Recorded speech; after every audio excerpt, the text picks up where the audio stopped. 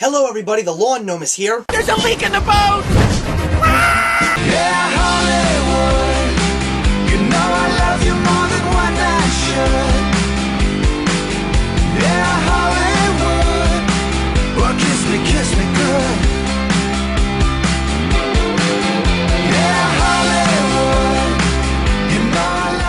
today I want to talk about a sequel to a movie that I absolutely loved a couple of years back when I went to see it in theaters. It was based around the 1973 children's classic book, Cloudy with a Chance of Meatballs, and of course I'm talking about Cloudy with a Chance of Meatballs 2. Now, believe it or not, this movie is, like its predecessor, loosely based around the sequel of Cloudy with a Chance of Meatballs, the book. It was called Pickles to Pittsburgh, Cloudy with a Chance of Meatballs 2, and it was written back in 2000, so not so long ago. So this movie, once again, does exactly what the first one did, which is take a children's book and turn it into its own little story with a couple of references to the book with its original characters. Once again, you got the entire cast back except for Mr. T, who was replaced by Terry Crews, and there's nothing wrong with that, but you still have Bill Hader, Anna Faris, Neil Patrick Harris, and of course, this time you have a couple of new faces to the group, including the great Will Forte as the villain.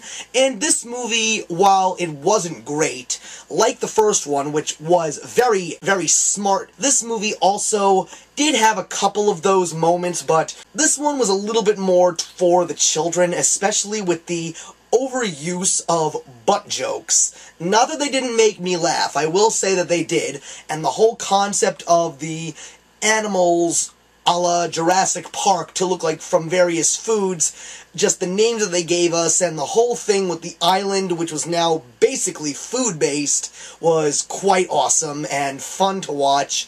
And it definitely had its fun moments, its, its cute moments, and in those butt jokes, there was a point in the theater where I definitely smelled something, so someone must have let something slip in the midst of while the joke was being passed, excuse the pun. So, once again, not a great movie, but very entertaining, very, very cute. If you did like Cloudy with a Chance of Meatballs, you will definitely enjoy Cloudy with a Chance of Meatballs 2. Will there be a third one? Possibly, because ironically, after I went to see the movie, a day later, I actually took a look and found out that there was a third Cloudy with a Chance of Meatballs book, which actually came out a month before the movie hit theaters. And it's called Cloudy with a Chance of Meatballs 3, The Planet of the Pies. So will we see a third film? Let's find out. But for now, if you like the first one, you'll definitely be able to sit through and enjoy the second one. And I am going to give Cloudy with a Chance of Meatballs 2, yeah, why not, 3 out of 4. So that's it, guys. And the question that I want to leave with you today is in regards to a very interesting thing that came out in the world of movies. Disney is actually intending on making a Mickey Mouse movie. Do you think that that's a good idea? I am the Lawn Gnome, and remember that actions speak louder than words.